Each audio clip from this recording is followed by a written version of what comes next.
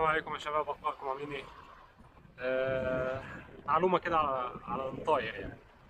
آه معظم الشباب اللي لسه بادئين في ال casting بتلاقي الخيط بيتشربك معاه عندك كذا نقطة للموضوع ده.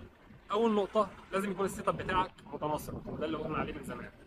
ماكينة تكون ماشي الخيط الحريري اللي راكب على الماكينة يكون آه، حجم الخيط متناسب مع حجم الماكينة متناسب مع الجرامات ال- المذكورة على القصبة. دي أول نقطة. النقطة الثانية إن أنت لما تيجي تلف الحرير على الماكينة ما تخليش الحرير يوصل لغاية الحافة هنا.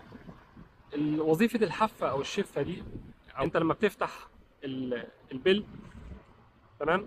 الخيط المفروض يطلع من الماكينة يخبط هنا. هو طالع من ال spool اللي هي ال spinning طالع منها داير فالمفروض يخبط هنا عشان يتفرد وينزل يطلع straight تمام؟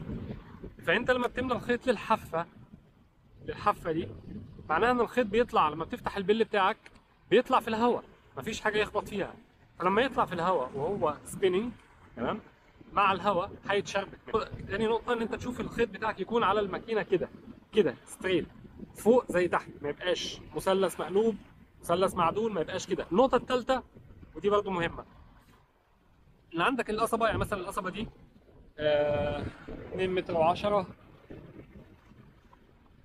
2 متر و10 لاينه دي 2 متر و10 الجرامات معرفش واضحة ولا لأ من 5 ل 20 جرام. ما تحطش عليها 5 جرام ما تحطش عليها 7 جرام 10 جرام ما ينفعش. من 5 ل 20 جرام يعني تقريبا أقل حاجة تحطها عليها 13 14 جرام 12 يعني ها تمام؟ فأنت بتحط 5 جرام مش دي القصبة اللي بتاخد ال 5 جرام. مش دي القصبة في حاجات في في setup تاني. فتحط الوزن ال lure المناسب لل setup بتاعك. الحالة الثالثه أو الرابعة معرفش مش فاكر أنتوا تفتكروا إن يكون عندك الهواء زي كده عكس. الهواء جاي في وشك وأنت بترمي الهواء جاي في وشك. لو أنت التزمت بالحاجات اللي إحنا قلناها قبل كده.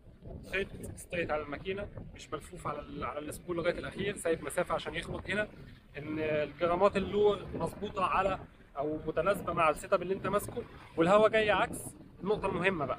أنت هترمي بالقصبة. وليكن الرمية بتاعتك بتوصل 70 متر مع الهواء اللي جاي عكس هتوصل 60 متر. وليكن. فأنت عارف من أول مرة رميت فيها ال lure بتاعك بينزل فين. فأول ما يوصل الرمية بتاعتك ال lure في الهواء لسه ما نزلش البحر في الهواء. ما نزلش البحر. أول ما يوصل في الهواء للمكان اللي المفروض ينزل فيه اقفل ال bail ما تسيبش ال bail مفتوح عشان الهواء ما ياخدش منك خيط زيادة على الفاضي. فأنت مثلا الرمية بتاعتك 60 والهواء هياخد له بتاع 10 15 متر زيادة من ال spool لما تيجي تلم تلاقي خيط بيلف على الهواء فهيشربك معاك. اقفل ال bail تمام؟ أكنك بتعمل stop لل ال braid ما يطلعش من ال spool وال lure بتاعك هينزل في نفس المكان. كده أنت تفاديت إن أنت تطلع خيط زيادة من الماكينة ياخدوا الهواء وبعدين يشربك معاك.